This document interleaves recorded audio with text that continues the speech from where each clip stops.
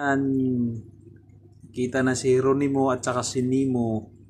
Si Nemo yung may ano, ah, puti sa katawan. White, orange siya. Yan.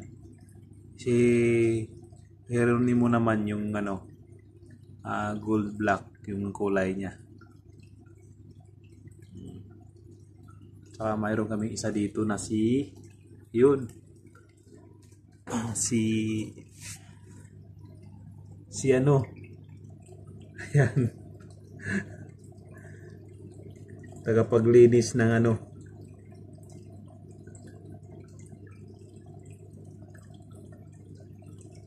Tagapaglinis ng aquarium. Si Dugong. Yan guys. Si Dugong Dugong tuloy. Yan ayan tatlo po sila. Mas maganda yung tatlo lang.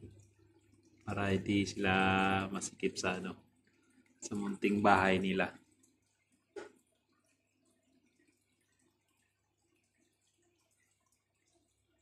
Kaibigan agad sila oh. Ah, ngayon pa lang magkita